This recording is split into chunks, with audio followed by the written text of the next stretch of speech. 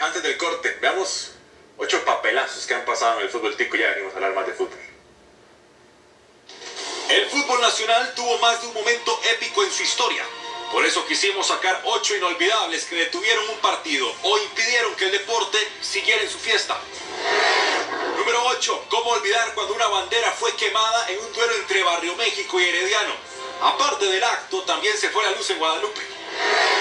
Otro recuerdo que pasó a la historia fue la caída del marco sur del Ricardo Saprissa.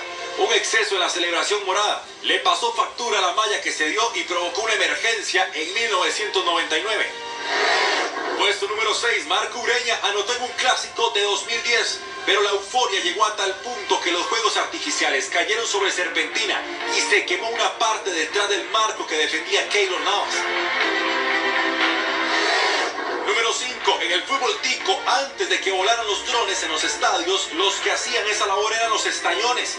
Algunos ejemplos fueron en el Morera Soto, por la Copa Interclubes de UNCAP en 2004, y en el Carlos Ugalde en el 2010, donde la violencia se hizo presente. Por supuesto que no se puede dejar por afuera el Limón versus Alajuelense de este jueves. No había ambulancia ni servicios médicos en la sabana, por lo que el compromiso inició 45 minutos más tarde. Número 3. A nivel deportivo existen enfrentamientos que sacan chispas por su rivalidad. Pero en el Collella Fonseca esas chispas se hicieron presentes de una forma muy realista en 2017, en el duelo entre Guadalupe y Alajuelense, mediante un cortocircuito que explotó un transformador.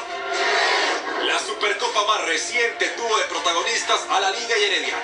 Pero en el terreno de juego, cuando todo estaba resuelto, el fútbol tomó otro rumbo totalmente diferente. Desgraciadamente, así no.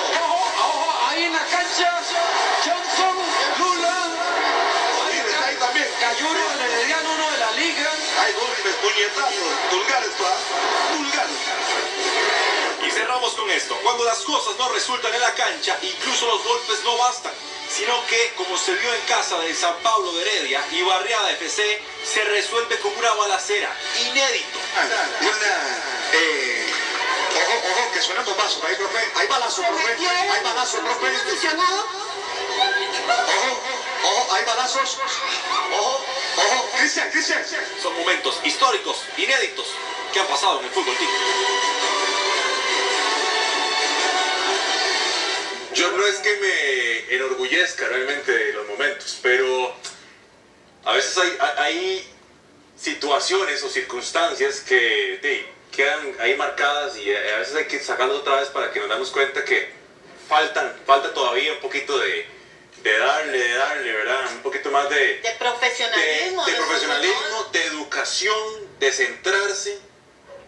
Antes de presentarlo, voy a hacer una pregunta al mambo. ¿Usted se acuerda de ese pleito? Claro, yo me acuerdo de ese pleito. Odil Yaques tenía, qué sé, 60 y resto de años. Odil comenzó a volar puñetazos. En un toque yo lo vi que iba corriendo, pero en cámara lenta. Según él iba rápido, iba, el profe iba aquí. Le dio salvatierra. Y si le no sé qué, y hizo así. Y nada más le dijeron. Sí, pues no, obviamente le iba a pegar a. Oye. ¿sabes qué es lo más Pero absurdo? qué señor más bravo, Dios mío. Era absurdo porque el partido iba 2 a 0. Era una supercopa en el Estadio Nacional. La, la primera y única vez que lo hicieron. Ujú. Era una supercopa, iba 2 a 0, minuto 92, algo así. Ya iba a terminar y se ganaron a golpes antes de que terminara el partido. Y nosotros tenemos, esa te- te- tenemos una historia, nosotros los heredianos. Se comienza la bronca, es una bronca grandísima por todo el, por toda la- el, todo el campo. Y nosotros tenemos un utilero, toro, le decimos toro. Pues Bafucón, Es, claro. es un maíz. La pierna de toro, son la pantorrilla de toro, que son todos nosotros. grandísimo, Jackie, es un maíz grandísimo, Jackie. Y dice que estaba así, así en el camerino, viendo toda la, la bronca. de- Ay, qué nosotros, nosotros que, otra que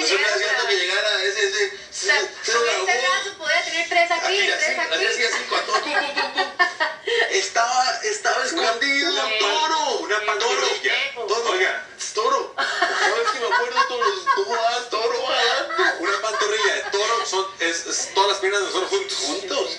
Nosotros pensábamos que nos iba a salvar. Dios mío. No llegó nunca, estaba escondido en el camerino. Tenemos No invitada la palabra, pero- hoy por la noche a